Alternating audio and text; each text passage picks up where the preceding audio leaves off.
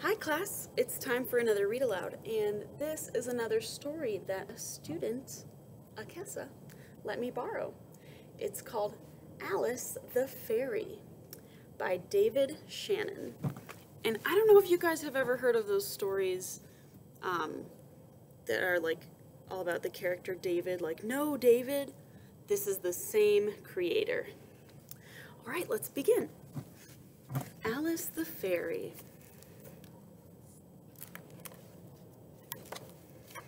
My name is Alice. I'm a fairy. I'm not a permanent fairy. I'm a temporary fairy. You have to pass a lot of tests to be a permanent fairy.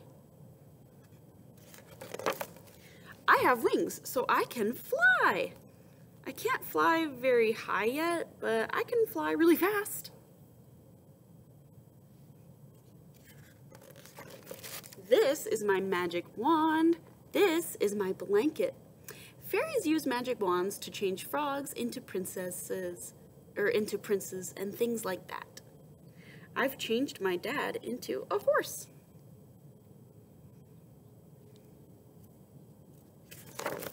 One time, my mom made cookies for my dad. So I turned them into mine. Did she really use magic? No. Felt bad about the cookies, so I thought I'd whip up a new outfit for my dad. Did I tell you he's the Duke of Morningside Drive? Well, he is. Gold sparkly pants, purplish pinkish shoes, my favorite color, and a plaid velvet shirt. But clothes were too hard, so I made him a new crown instead.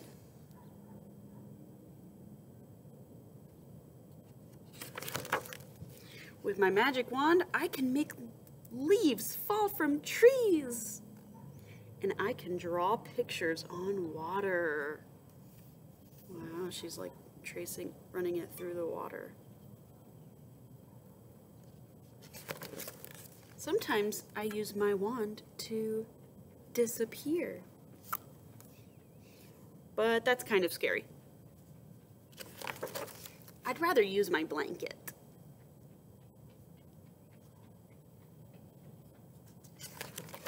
Of course, I also have a magic mirror.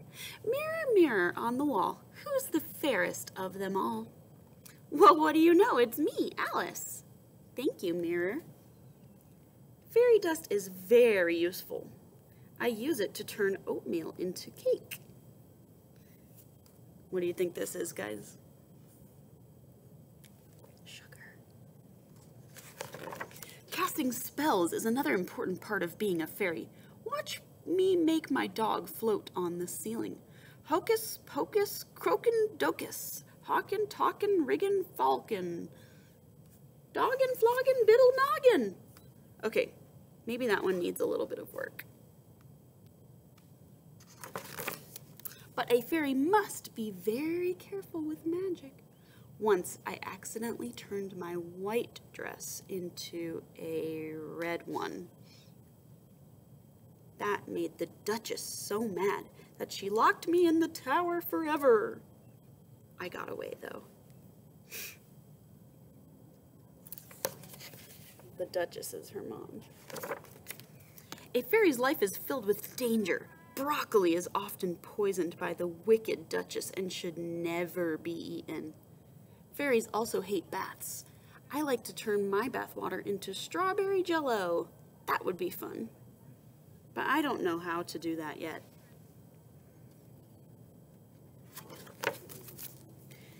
You have to be a permanent fairy to do tricks like that. They go to advanced fairy school to learn how. I'm supposed to learn how to make clothes, get up off the floor, and dance around and line up in the closet.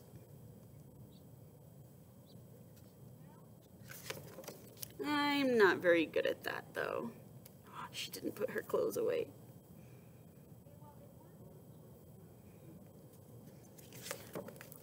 I'll probably be a temporary fairy forever. Oh, cute. Kids, I like this book because it's fun to pretend. I think that's a very important thing that you can do as a kid and use your imagination. Thank you, Akessa.